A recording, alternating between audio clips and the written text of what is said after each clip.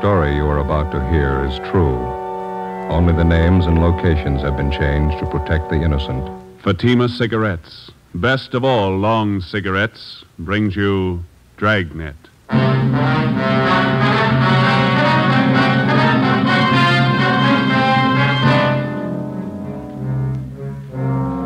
You're a detective sergeant.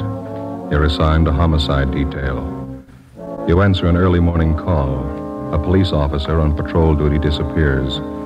Any attempt to contact him by car radio fails. Your job find him.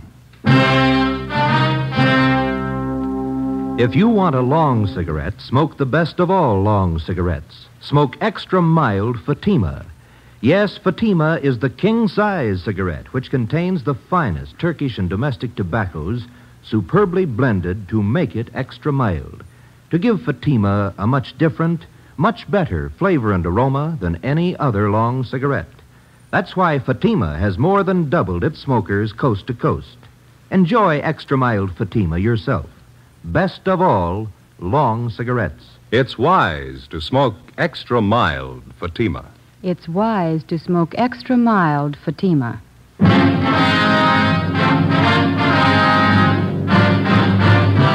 Dragnet, the documented drama of an actual crime.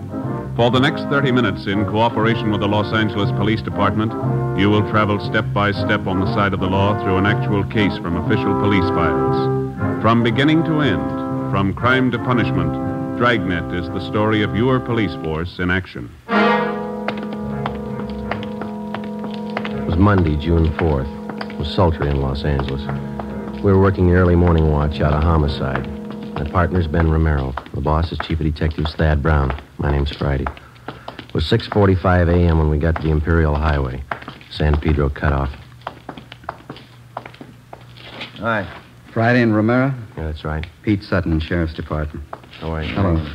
We got here as soon as we could. Inspector Bowers fill you in? Yeah, Ed Baxter and Central Homicide told us to check with Bowers at the sheriff's office. And Bowers directed us to come out here and lend you a hand. This thing happens so close to the county line, they figure both departments ought to go to work on it. Sure, glad to have you. Looks like a tough one. Is this the highway patrol car the missing officer was assigned to? Yeah. This is just the way we found it. We turned off the ignition. Motor was running, lights were on. Must have been idling quite a while. The temperature was up pretty high. When'd you find it this way? 45 minutes ago. Missing patrolman's name is Eugene Brewer. State Highway Patrol called the Sheriff's Department a little before 6 a.m. Told us the missing officer wasn't acknowledging his radio call. I talked to Mark Benson. Is the radio all right? We checked it. In fact, it was operating normal when we found the car. Mike was out of the bracket, laying on the seat there. Yeah. Any ideas? No signs of struggle. No blood stains. This asphalt here. No footprints anywhere. Nothing on the shoulder of the road. You said the car was running? That's right. That eliminates any engine trouble. Yeah. No, there's more to it than that. Gotta be. Nobody has any idea why or when he left his car. huh? You've got it all. You know as much as we do. What was the check on Brewer? Mark Benson says he's one of their top men. Been with Highway Patrol for eight years. Good record all the way. Have you talked to anybody around here? Pretty remote spot out here. A lot of truck gardens. That's about all. My partner, Dave Terry, turned up one man. Maybe he's got something. That's him over by our car. Hey, Dave, would you send him over here, please? Who is the fellow? One of the farmers. Works at truck garden out here. Name's Henry Taniguchi. Lieutenant Sutton?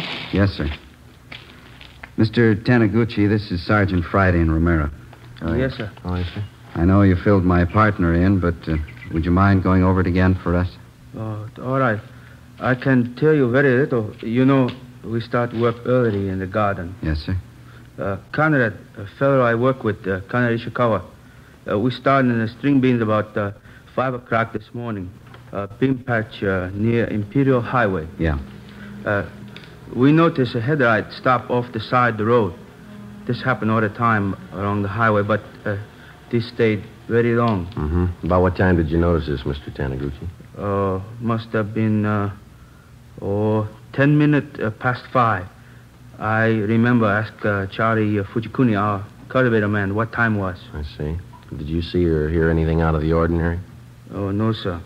Uh, we wait a while, and uh, headlight do not move. Uh, Conrad and I decided maybe somebody was in trouble. this highway quite deserted early morning hour. What'd you do then? Uh, we walked up to see what was wrong. Uh, when we get close, we could see was state highway car, so we know everything all right. Mm-hmm. Did you see the officer in the car? Oh, no. Uh, door was open on the other side. We thought maybe officer investigate something down in the brush. Did you see him down there? Oh, no. We just think he was uh, check up something. So we go back to work. You saw nothing out of the ordinary, nothing unusual. Uh, no, we don't. Uh, we hear the radio play. We know everything okay. That checks out. The radio was functioning when we got here. Mm-hmm. You didn't notice any other cars around anywhere, did you? Oh, no, sir. Thank you very much, Mr. Taniguchi. Uh, here's my card. Appreciate it. If you think of anything else, please let us know. Oh, yes, sir, I will. Uh, what happened to officer in this car? We don't know. Oh, he's all right. Uh, probably uh, look for somebody. Well, that makes us even. We're looking for him. Monday, June 4th, 8 a.m. According to our instructions, we headed back to the Hall of Justice to check in with Inspector Gordon Bowers and Captain Garner Brown of the Sheriff's Department. They were coordinating the search for the missing highway patrolman, Eugene Brewer. Inspector Ed Backstrand, Central Homicide, was helping out. To the peace officer, cooperation with all branches of the various law enforcement agencies is essential. Each man on the force knows the value of a coordinated effort. He knows that without the aid of the many divisions of law enforcing bodies in his city and county, the task of maintaining law and order would be a total failure. The local officer depends on the men in the federal, state, and county departments as they depend on him. Without this coordination, no one department could survive. 8.25 a.m., we met with Inspector Bowers and Ed Backstrand in the sheriff's office. Nothing, huh? Nobody saw him. If somebody did, we haven't found him, Inspector Bauer. We both figured the only thing to do was to ask for cooperation of the newspapers. We got it. Pretty good layout, huh? There's stories in every morning edition in town. They're running a picture and full description of the missing patrolman. Well, we talked to everybody we could find in the general area out there. We worked two hours at it. The spot where the patrol car was found is pretty remote. A couple of gas stations, some vegetable gardens. We told you about the Taniguchi fella. Checked all his friends that worked with him. They couldn't add anything. Maybe the newspapers will turn up something. I sent a special detail out there to fan out and search the entire area, five square miles. Yeah, it'll take time. There's nothing else we can do. No, there's nothing more we can do. There's nothing anybody can do until we can show them the patrol cars how to carry two men. Nobody seems to be able to do anything about it. Yeah, maybe they will now. Sending one officer out in a patrol car is like trying to run a trolley line with one man. How many cases can you remember in our department? Ed Dudman pulled a car over in Dogtown at 3 o'clock one morning. I remember. Driver turned out to be a guy with a record. Dudman couldn't know that. While he was making out the traffic ticket, the guy shot him down in the street. Dudman died before he could get help. Yeah, we do a lot of griping in the detective division, but those men in the patrol cars and the motorcycle boys, they get the dirty end of the deal for sure. You bet they do. When a detective is sent out on a job, he knows who he's after, what he looks like, what he can expect when he finds him. The boys in the patrol cars answer a call, a 390, a 415, a 507. Sure, we know what they're supposed to be, but how often do they turn out that way? Prowler, a peeping Tom? How many times do they have a gun in their pocket? How many cops do they kill every year? We've all been through it. We know what it is. Yeah, but how often do we think about it when we're griping on stakeouts? Let me tell you something. This goes for me as well as you. Let's not forget who the real cream of the force is, the backbone of any police department. Men on wheels. No question there, Skipper. Sorry, I didn't mean to make a speech, but when something like this happens, it gets to me. They're riding on short odds as it is. There ought to be two men in every patrol car. Well, wish it'd been somebody else with Brewer. The guy on the job just doesn't disappear without a trace. It's just what he's done.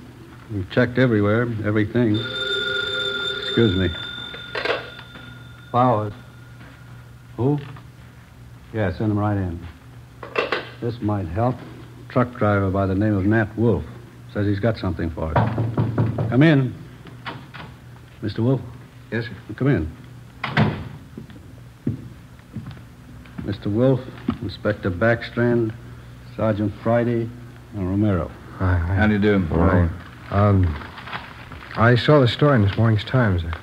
I don't know if what I got's worth anything, but I figured I'd better pass it along to you guys. Something on the missing highway patrolman? Well, I, I don't know. The reason I'm here, maybe it's just a coincidence, but I gave a fellow a hand earlier this morning out on the Imperial Highway, not far from where the paper here says the empty patrol car was found. About what time was that, Mr. Wolf? Oh, around 4.30 this morning. You want to tell us about it? Yeah, yeah. Uh, I'm an independent trucker. I haul topsoil for different nurseries. Stuff out there in Imperial's good rich stuff. We dig it right out of the side of the hill. Yes, sir. Well, I just loaded up, and as I'm on my way back to town, this fellow flags me down. Said he'd had a flat, pulled out on the shoulder of the road to fix it. Said he didn't know it was sand. After he'd fixed the flat, he found out he stuck. He couldn't get his car. You gave him a hand, huh? No, not with the flat. He already had that fixed, but I towed him out. I see. That's how I became suspicious of this fellow. How do you mean? Well, I offered to get out and hook up the tow chain. He said, no, no, just stay in a cab. I figured if he could do it alone, it was all right with me. Well, I pulled him out. Here's the funny part. Yes, sir. The chain got a kink in it from the weight of the pull. It's no mean job to handle that alone, but he says, no, he'll do it himself. Seemed to me like uh, he didn't want me to get a good look at him or his car. I, I could be wrong, but, well, that's the way it struck me. Did you notice anything? Yes, I, I did. For one thing, I got a look at him when I threw on my backup lights and, and his car. That's a real funny one. What do you mean? Well, this is a fairly new car. I'd, well, I'd say no older than last year's model, a Plymouth. Well, at the risk of sounding completely nuts, I'm going to tell you that car looked like it had just been painted. There's nothing wrong in that, is there? Well, there is if you're off on the side of the road that time of the morning throwing cheap black paint all over a fairly new car. If he's using a spray gun, I could understand part of it. What's that? It was his license plate, front one. It was all painted over. You, you couldn't read any of the numbers. hmm What led you to believe he just finished painting his car? All his hands and arms, and it was all over his clothes. Oh, I see. It's that kind of paint you put on the rag, you know. Oh, yeah. Well, I don't know. Was it was it worth bothering you guys about? You bet it was, Mr. Wolf. I can't tell you just what it means now. Maybe it doesn't mean anything, but certainly it's out of the ordinary and worth reporting to the police. Well, I hope so. I'd like to see you boys find that missing officer. Something's pretty rotten in Denmark about that one, huh? Maybe we found a hole. Maybe. Friday, I'd like to have you and Romero help out in the next step. What's that? Throw up a roadblock.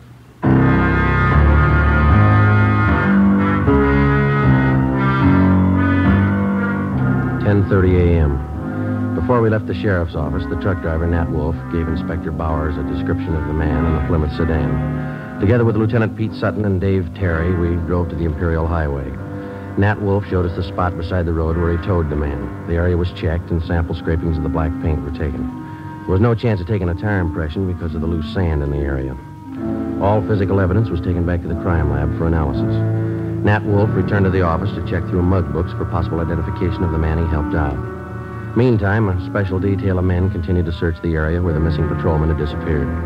3 a.m. According to instructions, a roadblock was established at the spot where the abandoned patrol car had been found. Imperial Highway, San Pedro cutoff. KGPL Los Angeles. 11A, 6 Spring, 118,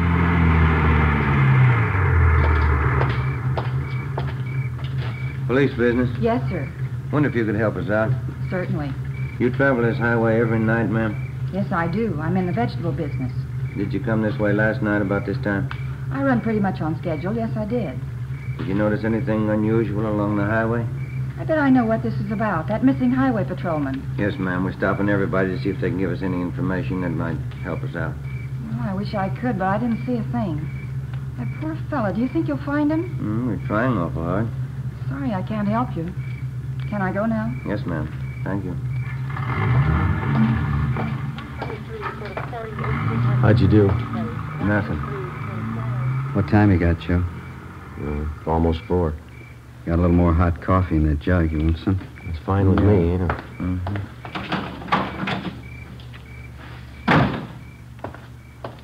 Here we are. Cups in the lid here. Ben, Joe? Uh, thanks a lot. Watch your fingers. It's hot. Yeah.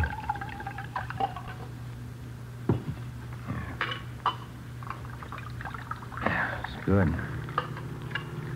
I'll take this one. I'm going to put my coffee on the fender here. Don't knock it off, huh? No worries. Thank you. Hey, wait a minute. Wait a minute, fella. Can you see my light? I haven't even got a cigarette. I mean, my flashlight. I got a cigarette lighter if that'll do you any good. You've been drinking, haven't you? Yes, I have. I never get drunk, but I've had a little drink. Well, I'm sorry, but I'm going to have to ask you to pull over to the side of the road. Okay.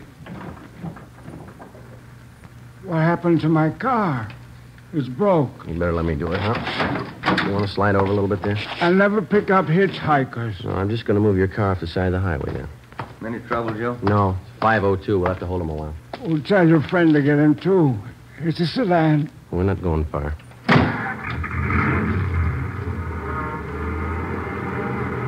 Where are we going? Right here.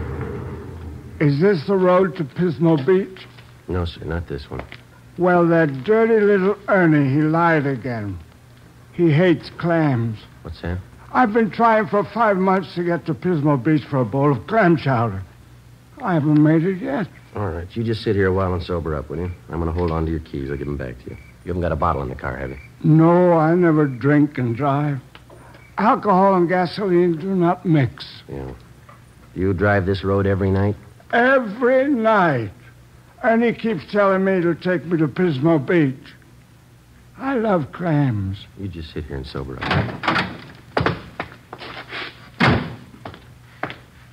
Happy drunk? Yeah, he's too drunk to drive. Yeah, getting along towards daylight. Hmm, Where'd I put my coffee? Oh, I put it over here, Joe. Afraid we knocked it off. Oh, thanks. This one's mine. Okay. You seem to come in bunches. You get two or three, and then you wait for an hour. You know, they don't use this highway much since they put through that alternate, you know. Police business. Yes, sir? You travel this highway every night about this time? Once in a while. Haven't been over this way in a week. You didn't drive this way last night. No, sir, I didn't. Anything the matter? Routine check. Thank you very much. You can go on. Nothing. Yeah. Well, looks like a hopeless job, doesn't it? Hmm, business is picking up. Here comes another one. Looks like one of your sheriff's cars, Pete. Yeah. Reynolds, homicide. Pete Sutton? Yeah, Reynolds. You can pack up. They found him. Is he all right? Two bullet holes in the back of his head.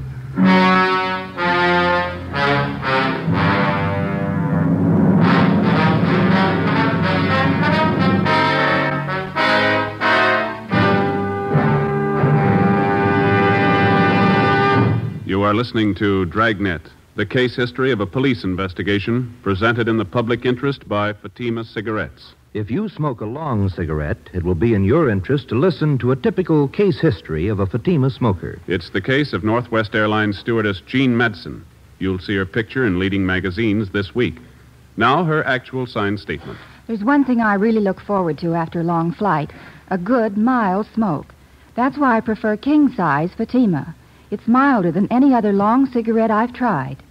Yes, I agree. It's wise to smoke extra mild Fatima. And so do more and more smokers every day. Actual figures show extra mild Fatima has more than doubled its smokers coast to coast. So enjoy extra mild Fatima yourself. The king size cigarette, which contains the finest Turkish and domestic tobaccos, superbly blended to make it extra mild. You will prefer Fatima's much different, much better flavor and aroma. You will agree. It's wise to smoke extra mild Fatima. It's wise to smoke extra mild Fatima. Best of all, long cigarettes.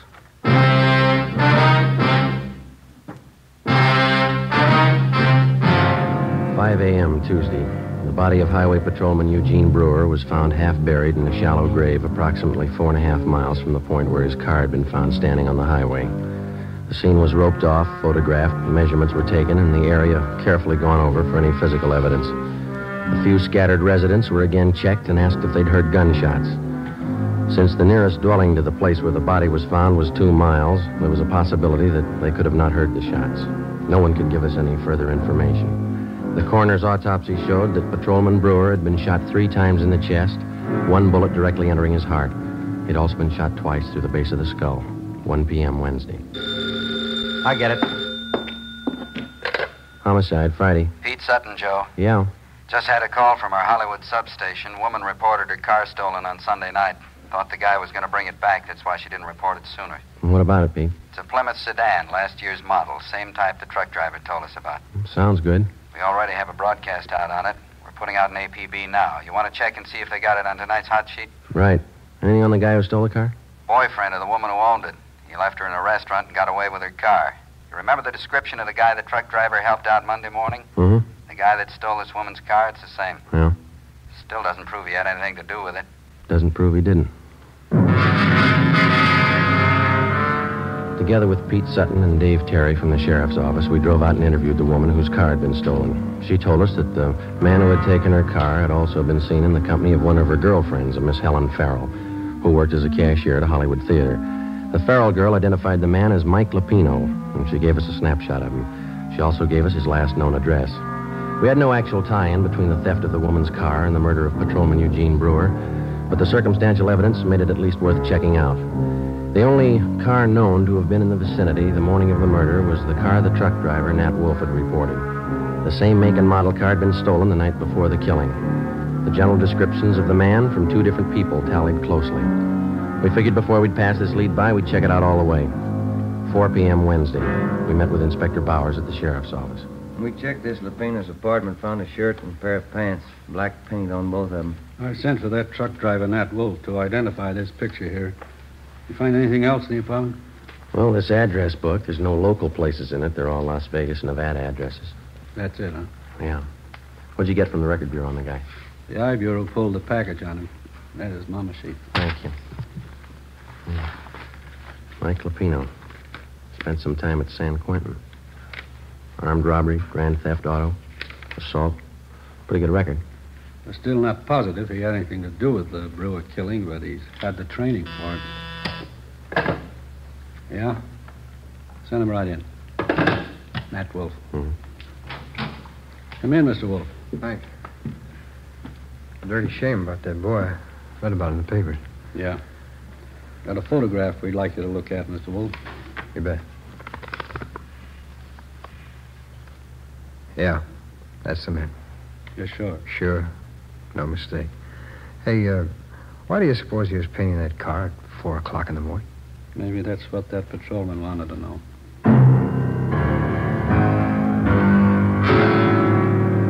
We waited for an answer on the APB. Two days passed. Saturday, June 9th. Received a phone call from the Las Vegas, Nevada Police Department. The stolen black sedan had been found in the downtown area of Las Vegas. We requested them to put a stake out on the sedan and asked them not to disturb either the car or its contents. Together with Pete Sutton from the sheriff's office, Mark Benson from the Highway Patrol, and Ray Pinker of our crime lab, we flew to Las Vegas.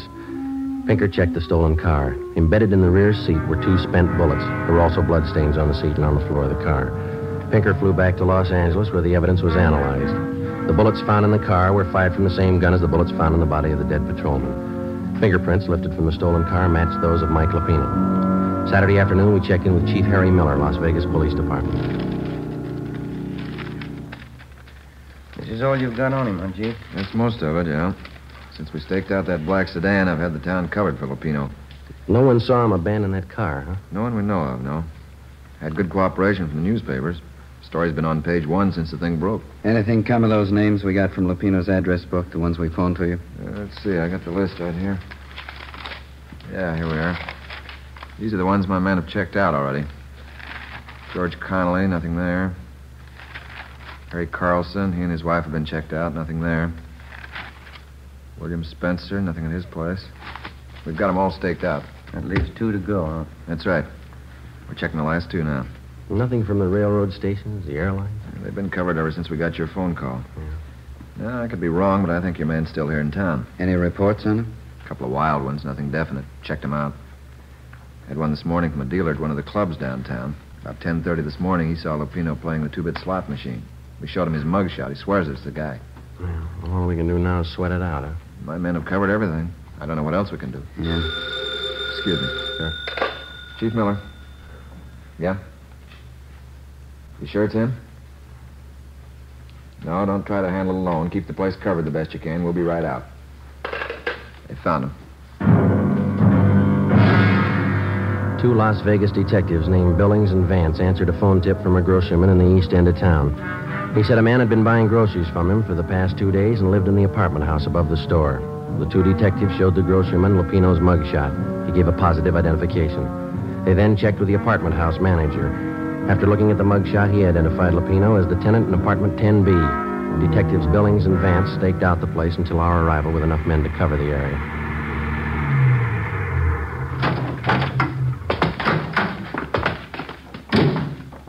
Vance, Yeah, Chief. what's the story? Well, he's in there. Hasn't been out all day. Apartment 10B. We'll take the front, Chief. Manager thinks Lapino has a gun. Maid was cleaning the apartment, found some loose slugs in the dresser drawer. You still want it, Friday? Oh, it's our headache. Joe and I'll go in, Chief. Right. Vance gets the men up on the roof to cover. We've already fanned them out around the building. I don't know what they tell you in L.A. on one of these things, but here we tell them to be careful. Right, Chief. Joe? Let's go.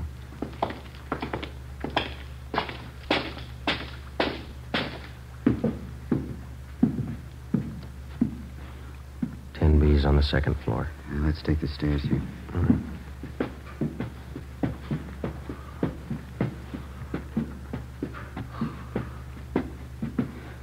It's a long way up, isn't it? Yeah.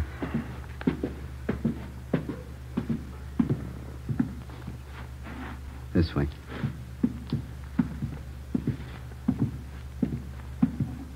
Here we are. You cover, huh? Yeah.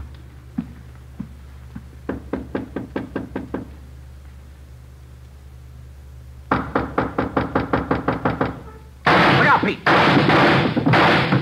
Shot right through the door. Yeah, he's got two left. Unless he's got another gun. Now, let's take him. One good kick ought to get the lock. Right. Just a minute. Now, let's go, Pete. I got it! Watch that gun, will you? Drop it! Lupino!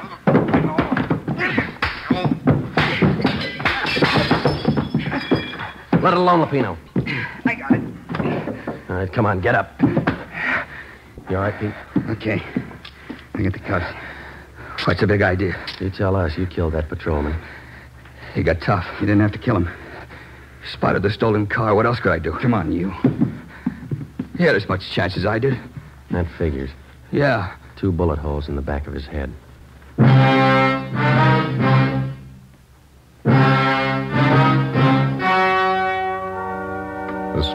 Story you have just heard was true.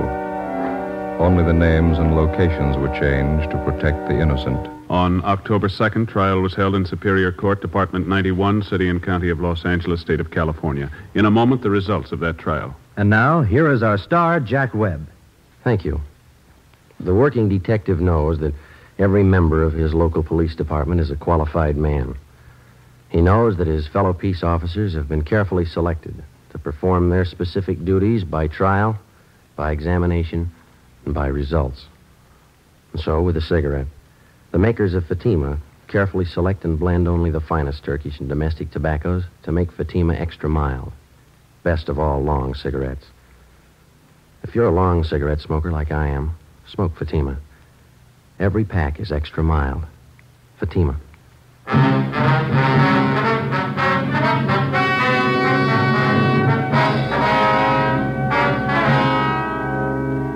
Michael Everett Lupino was tried and convicted of murder in the first degree. The jury failed to recommend the death penalty. Lupino is now serving his life term in the state penitentiary. Ladies and gentlemen, the Los Angeles Police Department requests the cooperation of all Dragnet listeners in the following police matter. The Los Angeles Police Department would like every and any information regarding a gun fitting the following description: 38 caliber special Smith & Wesson revolver, gold seal model. The gun has a blue steel 4-inch barrel. The serial number is 210088. 210088. If you have any information as to the past or present whereabouts of this gun, contact W.H. Parker, Chief of Police, Los Angeles, California. This is a very important matter. All information furnished will be held in strictest confidence. Thank you. You have just heard Dragnet, a series of authentic cases from official files. Technical advice comes from the Office of Chief of Police W.H. Parker, Los Angeles Police Department. Coming up, Duffy's Tavern. Three chimes mean good times on NBC.